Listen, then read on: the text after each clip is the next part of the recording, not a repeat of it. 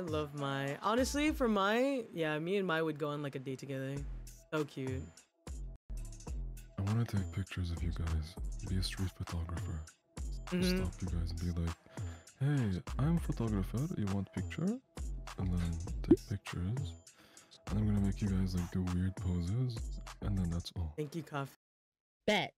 Okay, so I'm not really much of a posing person, so it was actually really difficult for me to think of weird poses because when I go out with friends, I'm taking pictures of scenery, I'm taking pictures of my friends, I'm taking pictures of food, but I'm not really taking selfies or pictures of myself.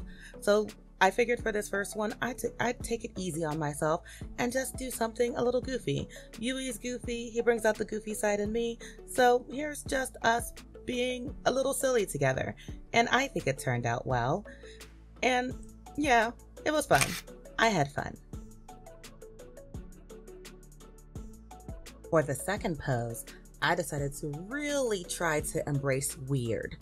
And I don't know if anyone else ever knew this, but your girl can do a back bend. So I decided to incorporate that in there. And I actively went to Yui and asked if how flexible he is. He admitted that he's not very flexible, so I guess your girl's gonna do all the work for this one. Unfortunately, while I can do a back bend, I'm not very good at getting out of the back bend. So, sorry, Yui. I definitely fell on you after we were done with this pose. Love you, boo. For the last pose, I decided to go less outlandishly weird and more just weird for me.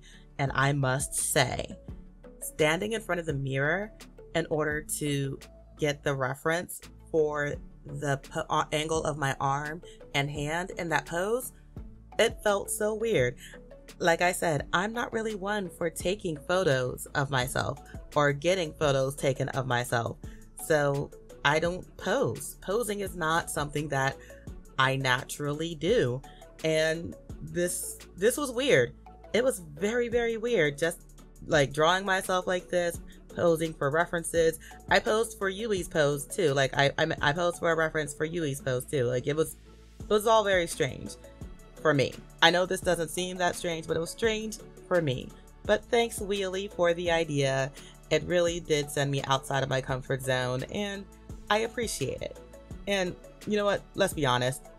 If you and I were ever to hang out, he'd make me do worse poses than this.